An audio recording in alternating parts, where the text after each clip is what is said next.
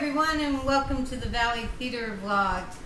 Um, today we are going to talk about um, our time at the Hale Theater. Uh, they had the Scarlet Pimpernel, but before I do that, David, why don't you introduce our guest? Welcome back to the show, recurring guest host Aunt Jodie, and our social media director, my sister Faith. I'm Batman. And Beth. and I'm Mama Dee. Um, And I'm David. This uh, Friday, we all went to see the Scarlet Pimpernel. Yay. at the Hale Theater, and it was fabulous. And it was their 142nd show. That's a lot of shows. yeah, wow. it is a lot of shows. Yeah. That is a lot of shows. I didn't know. Um, before we get started, Faith is going to give you a little synopsis of what the Scarlet Pimpernel is all about. Faith? No pressure. Um, Scarlet Pimpernel is basically um, the original superhero. Uh, the writer of the book um, wrote this one before um, Zorro, before Batman, before everything. He's basically um, an Englishman who goes over and saves aristocrats during the reign of terror of the French Revolution in the 1700s. So he was basically like the first masked hero. Yeah, sort of thing. And let me tell you, again, another stellar, wonderful performance. Yes. uh, by the cast at the Hale Theater. Um, Austin he, uh, played uh, Percy, Percy Blakeney. um, who was our masked hero, and he was phenomenal. Not only uh, singing but acting.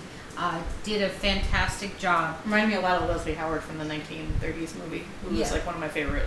Yes, in fact, I think you spoke to him about it. Yeah, I told him that, and I was like, I hope I complimented him. yeah. I'm sure you did. I'm sure I'm you did. And Marguerite was played by uh, Rochelle, and what an amazing voice! And Yes. she Oh, gorgeous. she had me in tears. And she did. I had goosebumps, tears. Beautiful. Did you like her, name? Yes. Yeah. Gotta remember, yeah, you saw her, or you saw all of Um, them. I on- saw on, on opening night, Yeah. and everybody was fabulous. From opening night to when we saw it on the second time. Mm-hmm. And Brian was a fantastic Oh my highlight of the show. Chauvelin.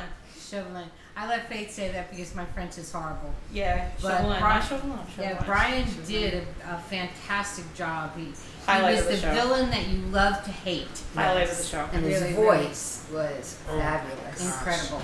Yeah, yeah. And then um, one of my favorite people, Kathleen Richards. She uh, she's been in a couple of our uh, shows that we went to see.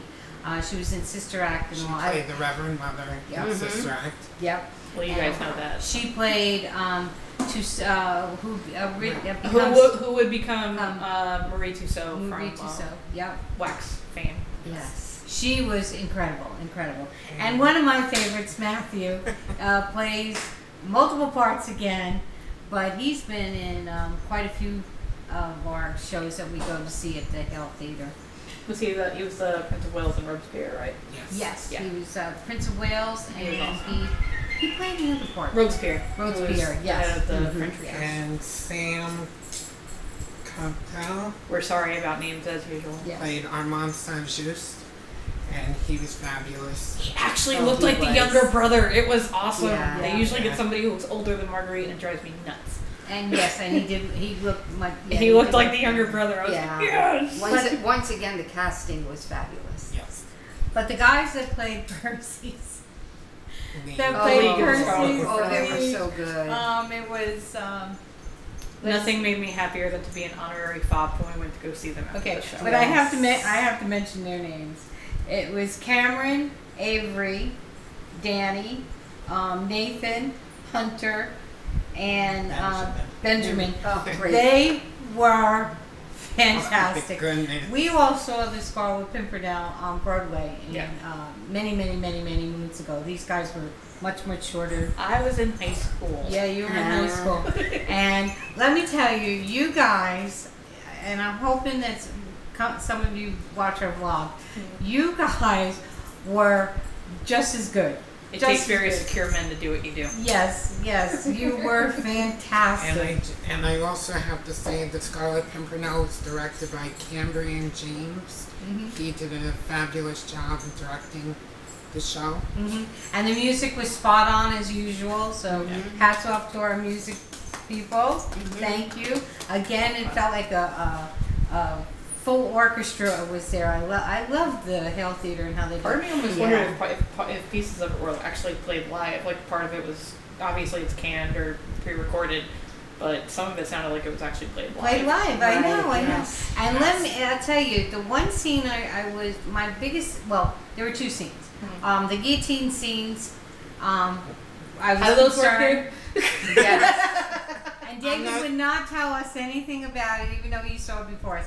But you wowed me. You honestly wowed me. I was like, Yes. It oh. looked good. yes. It looked But really the good. other scene, there's a scene where all the guys are on a boat and they're they're going to England to, to, France. fight. Uh, to they're going from England to France there you go. to fight the evil. And I wasn't sure how you would be able to do that because in, In a a, theater in a yeah in a theater and around because in a, a stage theater you have where your background and you have all this. You wowed me when when you got when the guys came out and they were on the boat and then we looked around and there was water, Water. and there was it was It was great. I was like Yeah, you I took telling, my breath away. Corinne and David, you Yes. guys took our breath away. I was telling Aunt Jodie before when we were having our pre-show uh, breakfast.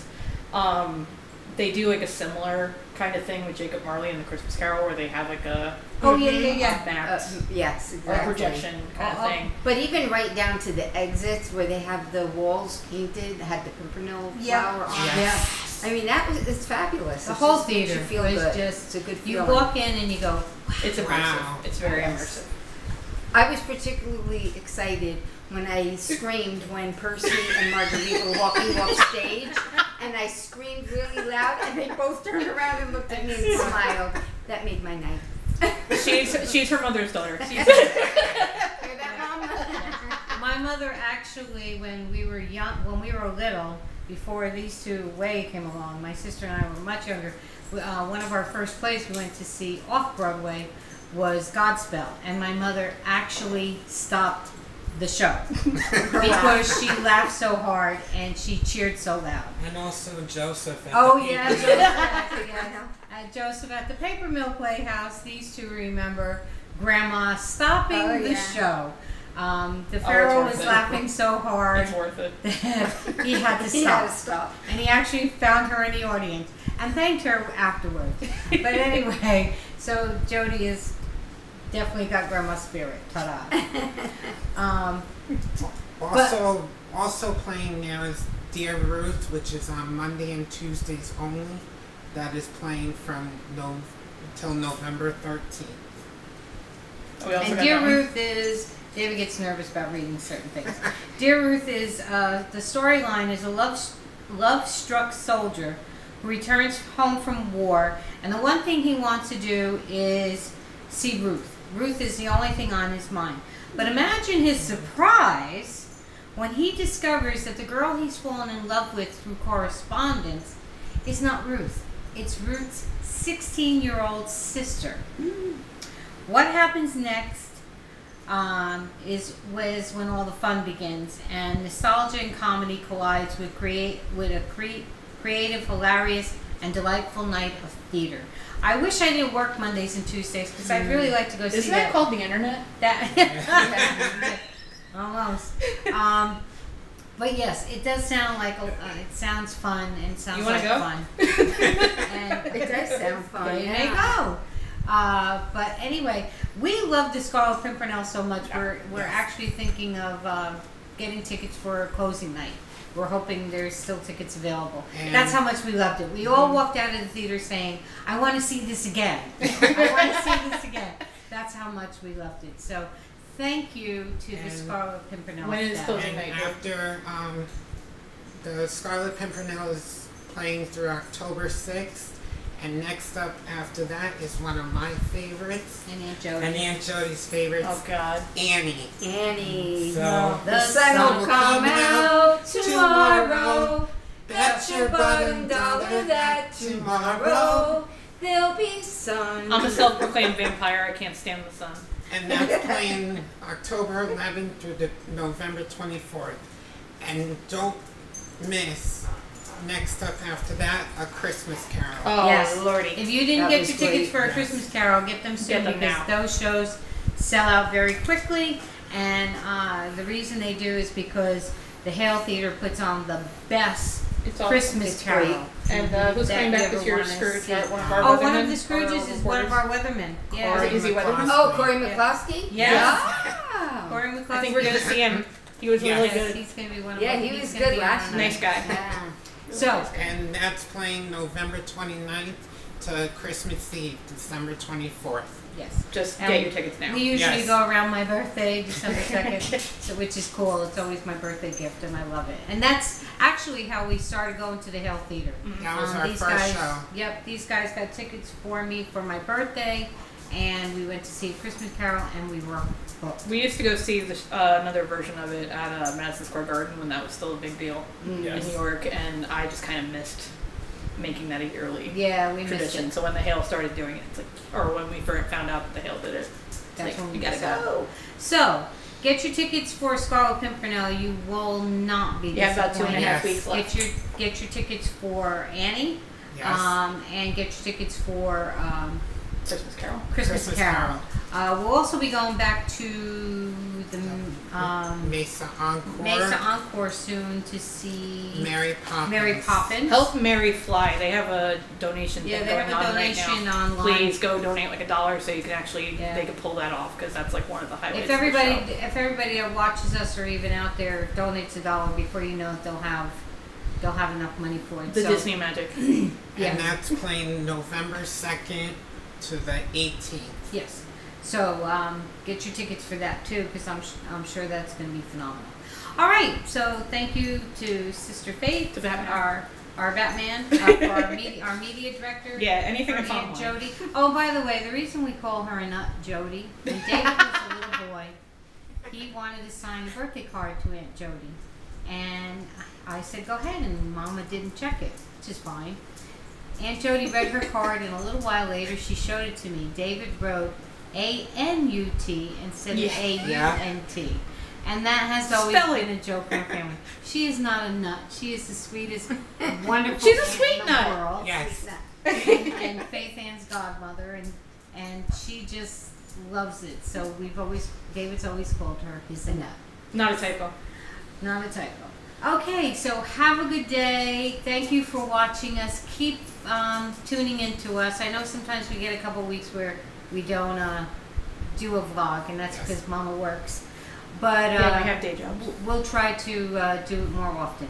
Take care. Thank you to Aunt Jodie. Thank Thank, you. you. to Faith. I'm Take- David. Um, I'm Mama Dee. God bless. Bye. Bye.